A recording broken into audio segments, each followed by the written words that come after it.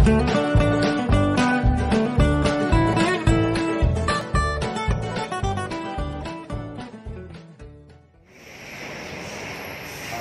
guys, so kasama ko yung ating mga kapatid na padyaw. Wow, no. Ganun. Okay, yan. Ngayon ay di, ano na lang, ah, tutulungan ko kayo. Alam. Mm, Kasi naawa din ako sa inyo. Pasensya na kayo doon sa Ah, salamat, kaya ko ha. Oh, tag 100 kayong magkapatid. Ang Marina ha. Pasensya ka na dyan para kami pangkain kayo ha. Maganda na yung nangihingi kaysa nagnanakaw na. Hmm, ganun. Okay, okay. Okay, sa iyo kuya. Oh, ah, yung ating pong binigay, maliit lang halaga po na- Pero sila po yung masaya dahil nabigyan natin kahit kaunti lang. Oo. Yun po yung kapwa rin natin Pilipino. Ganun din. Kaya kailangan at sila yung nasa pag-a-adjust pa rin. Tao din naman din sila na dapat natin itarpuin na maayos. Sila man yung mababait. Hindi nga, siyempre, meron tayong mga naranasan guys yung mga katagala na sa ibang mga badya, pero hindi naman sila lahat din ganun. Hmm, ganun. Iba-iba.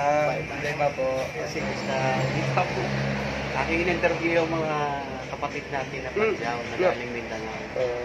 So, ako naman, hindi naman ako naano sa kanila sapagkat si kagaya din nating Pilipino. At sila ay gusto nilang mabuhay sa paraan na sila ay nangihingi.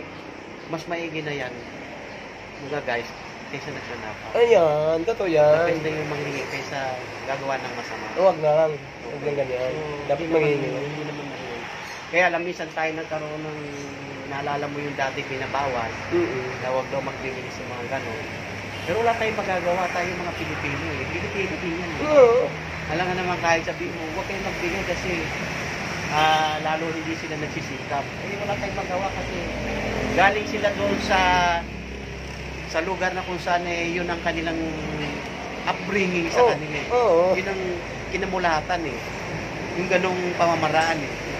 Siguro, unti-unti, unti-unti guys, matuto natin sila ng naturuan din kung paano sila Oo, yun, yun. yun. mabuhay. Mm. Kasi kung minsan, parang namamaliit tayo na. Di ba?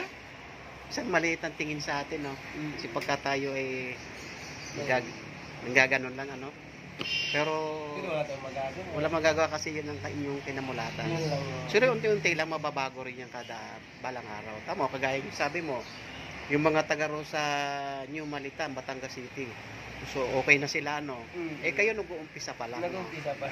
Oo, darating din siguro ng time na Oo. magiging buhay Ganun din ninyo. kami. Kagaya din kayo, no?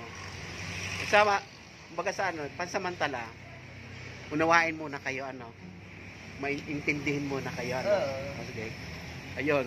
Kaya, guys, okay natutuwa at na-interview ko itong dalawa. Si Marina. Maganda pa naman si Marina. Gwapa sa Bisaya. Gwapa kayo, ano? Maganda. Ito naman, pogi din naman. Gwapo naman si, si Jan. Jan ba? Okay. So, salamat sa inyo, ah. Oh, yan. Ito pala yung ah, bagong dating lang dito sa tabi namin. Kuya nila. Ah. Ah, ito si si Jan at saka ito si Marina Marina. ay magkapatid. Bali, siya ay Gano? Akong Gan. bunso. bunsong O, akong bunso nila. Kapatid ko dalawa to. Kasi malaki lang ang katawan. ah, kapatid mo rin to. Hindi, ako siya akong magulang bunso. ko. Ay, yung magulang, Ah. pinsan buo. Oo. Yung nanay mo, Magkakapatid. Nanay mo, magkapatid. So, magpinsan buo. Ah, pinsan ah, kasi. O, yan. Po. Salamat. bigyan ka ng, yan lang ang naibigay ko sa'yo, ha? Salamat po kuya. Kahit magkano po tatanggapin namin. Ah, sige. piso. Oh, nahuli ka kasi ng dating. Nauna sila kaya medyo iba yung sa kanya. Okay, sige. Sa kuya. Ah, magpaturo ka guys doon sa mga kasamahan nyo na marunong na. Oo. Yan sa Batangas sa New Mar- Malitan. marunong man yan. Mayroon akong ano, meron din ako mga ka-eskwela nung high school. Diyan sa New Malitan. Hindi ko lang alam kung kung, kung badyaw siya. Hindi ko lang alam kasi matagal na eh. Mm. Mga kailan pa ba nagkaroon diyan ng ng badyaw sa New Malitan? Hindi mo na itanong yun sa kanila kung, Hindi na itanong eh. kung gaano na sila katagal diyan. Oo. Pero alam ko matagal na sila eh. Matagal na nga sila eh. Baka hindi lang siguro may 30 years na kaya yung mga mga yung ba? Hindi ko alam mga iba. Maaari yung mga matatanda na. Mm, matatanda na, mamamatay na sila doon. Oo Yung nga. mga matatanda. Kasi matanda na nga sila doon. Mm. So lang magandang advice ko sa iyo diyan. Ah, mat- matuto ka din na mag kahit yung mag ah, benta-benta, bumibenta ng mga ano. Ibang ba ibang ba yun? Nakita ko nagbebenta nung nag, ano ba yun? Mga singsing ba yun? Ah, nam, nagbibenta ko, namimili. Oo, nagbibinta. Oo. yung mga hikaw-hikaw ba yun? Nagpapalit ng mga cellphone. Oo, oo. Ganun din ang gusto ko pero wala pong pera pambili. Yun, maganda kasi yung ganun. Gusto ko kung may pera na ako, ganun din bibilin ko. Tama yun. Para hindi hindi habang panahon ay Oo, ganun din. hindi naman masama Hindi kundi naman. mag, maganda rin yung pagdating ng araw, hindi na ganon. Ah, sa- sana. Oo, oo, oo. Ikaw din si siyempre si si Marina no, di ba Marina? Pero may apelyido kayo. Apelido. Yung yung ba pangalan tapos bawa Marina, Marina ano siya? Bawa. Ah, halimbawa, No. ah, ako, panangalan ko, halimbawa ko ay June Fernandez. Apelyido ko Fernandez. Pangalan ko June. Kayo may apelyido kayo? Marina, yung Marina Tapia. Ah, wala kayo apelyido? Yung Sa ID namin, Marina Tapia. Ganun din. Marina, Tapia. ano yan? Tapia. Tabsiya? Yun ang apelyido? Marina Tabsiya. Sa akin din, ganun din. Ah, ibig sabihin may apelyido kayo. Kala ko kasi wala eh. Yan, naman wala, may pamilya pa kami. Kaya nga. Kaya lang, hindi kayo nakaparehistro, no? ha? Hindi kayo nakarehistro sa barangay. Wala pa. Yung birth certificate, wala. Wala. Wala. Basta binigyan lang kayo ng pangalan, Oo. tsaka apelyido ng magulang. Kasi hindi man kami nakapunta dito kung walang vaccine, walang ID. Ah, ganon?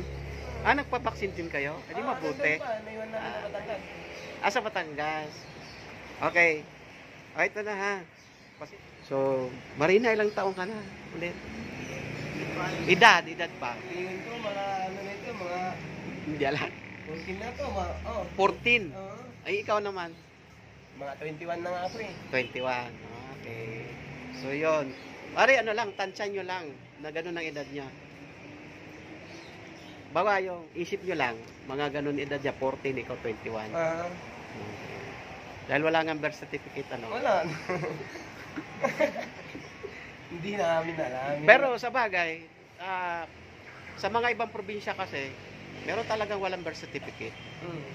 Kahit yung mga, kahit naman hindi kagaya yung Badyaw sa mga, sa Bisaya, meron mga wala talagang birth certificate. Ganun din ang tao ko yan. Ma, ma maigi pa daw yung ano, yung kalabaw, na parehistro yung kalabaw sa barangay.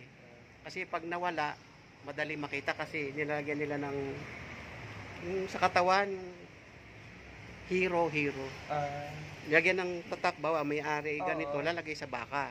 Para pag nawala yung baka, makikita. Pero yung tao, hindi rehistro. Kasi sabi nila, yun daw baka pag nawala, makikita at naibenta. Hmm. Ayun daw tao, hindi naman daw naibenta eh. Kaya okay lang walang birth certificate. Okay lang. So anong dapat gawin pagka namamalimos? Oh. Dapat ay ano? Dapat man magsalamat. Pasalamat. Oo. Huwag mami ano pa. Hindi pwede, dapat hindi namimilit na. Oo. Eh, May tsaka pinilit, pag hindi na- wala. Oo. Minsan kasi, pag may sasakyan, ginagano nila oh. Oo, ganun. Alam mo, pag piso ang binigay, ginagano ng sasakyan oh. Yung salamin, Mhm. ayaw namin kaya. Sa Maynila, nangyayari yan. Yung ibang Matap- matap- sa mga badyaw matakot doon. kami ganun. Pero Ayaw namin, ko, ayaw namin maging kasalanan. Gusto namin mabuting tao. Okay. Yun lang ang ginagawa namin. Ay, siyempre, dayo lang tayo. Oo. Siyempre, yun, sabi ko kanina, so, respetuhan lang ano. Dito, respetuhin natin mga tao.